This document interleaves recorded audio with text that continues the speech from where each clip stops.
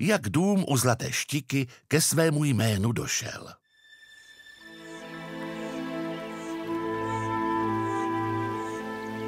České země jsou posety rybníky a je jich kolem 21 tisíc. Ryby byly vždycky žádané zboží a proto není divu, že se jejich chovu věnovali šlechtici i měšťané. Tak tomu bylo i v Olomouci, kde nám dodnes znamení štiky na jednom z domů připomíná dávný příběh. Ten dům tehdy patřil bohatému měšťanovi Janovi. Protože měl dobré srdce, nechával v něm bydlet chudou a početnou rodinu. Jeho ženě se to ale moc nelíbilo, neplatili totiž skoro nic. Janý však říkával, že sami mají peněz dost a nebudou dřít přece chudáky z kůže. Peněz měli opravdu hodně a také spoustu drahoceností.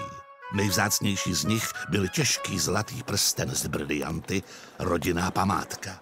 Když s ním Jan kráčel po Olomouci a svítilo slunce, zářil, jako by si na prstě nesl hvězdu. Byla to šťastná hvězda, ale tradovalo se, že kdyby někdo z rodu prsten ztratil, stihne ho smůla. A stalo se. Skutečně, jako by se od toho dne nad životem bohatého měšťana zatáhl mrak. A prsten ne a ne najít. Všechno se začalo kazit. Janovi sípky prolezly myši, sídlo, kde bydlel, vyhořelo a rodinou pokladnici navštívili zloději. Pro Janovu ženu to byla voda na její mlín.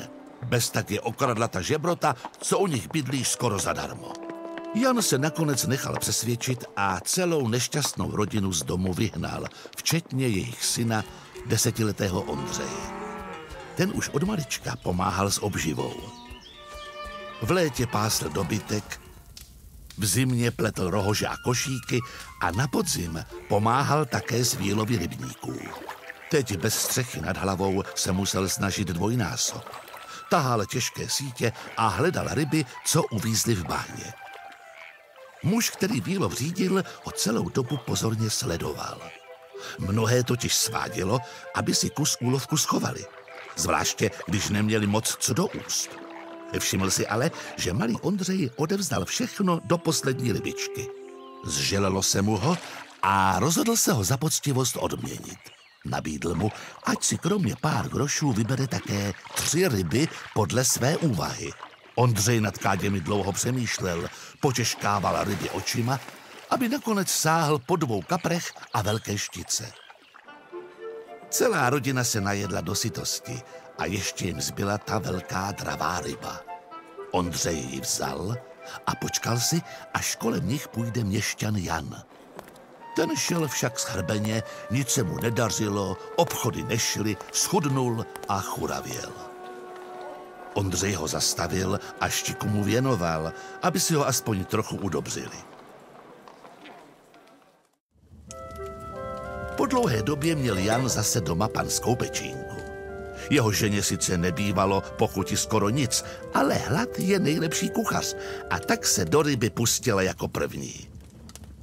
Najednou ale vykřikla, protože si o něco tvrdého z masa slomila zub. Byl to rodinný klenot. Jako by celou místnost opět zalilo slunce. Jan si teď matně vzpomněl, že v době, kdy prsten ztratil, chodil mezi rybníky obhlédnout své hospodářství a protože sám rád pomáhal a vody se nebál, byla mu záhada ztraceného prstenu najednou jasná. Hned si nechal zavolat malého Ondřeje, omluvil se mu a rodině dovolil, aby se nastěhovala zpátky. Janovi se začalo opět dařit a Ondřeje, když dospěl, jmenoval správcem svých rybníků, takže jeho blízcí a ani on už nikdy neměli nouzy. Na památku nechal Jan na dům vytesat zlatou štiku. Říká se, že s poctivostí nejdál dojdeš. Ryby sice mluvit neumí, ale tento znak na domě v Olomouci to každému kolem jdoucímu připomíná dodnes.